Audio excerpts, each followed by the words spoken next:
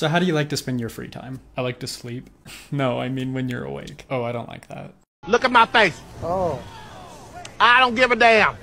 Did you know there are three different ways a corgi goes up the stairs? First and the most common method is the classic bunny hop. Second method requires agility, flexibility and coordination. It's called the chicken waddle. Finally, the third method, the favorite of gym brothers everywhere, is called I skip steps to show off how fit I am.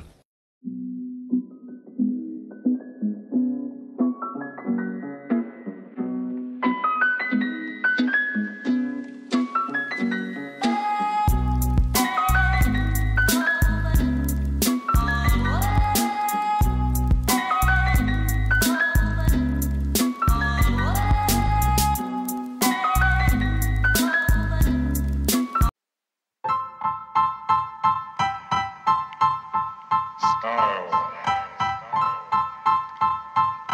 Style is the answer to everything. A fresh way to. So my parents said it was pizza night. I don't actually know what that means, but my dad was in the food room tossing something in the air, so of course I meant it was for me.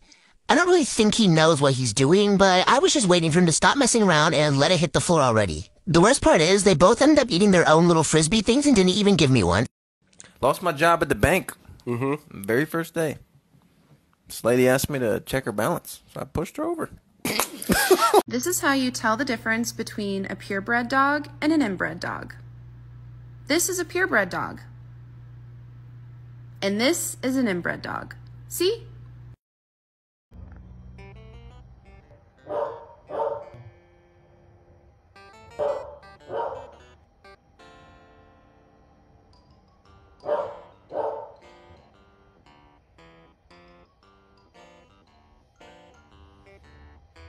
Whoa.